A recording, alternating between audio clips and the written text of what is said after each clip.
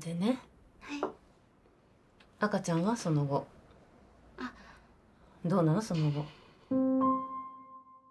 子供欲しくないでしょ。キス。奥様と何回ぐらい？え？何回ぐらいなさったんですか？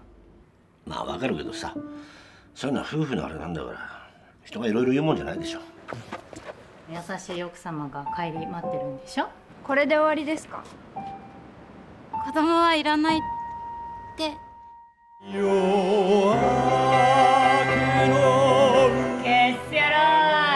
かんないでしょやってみなきゃ。もう寝てんだから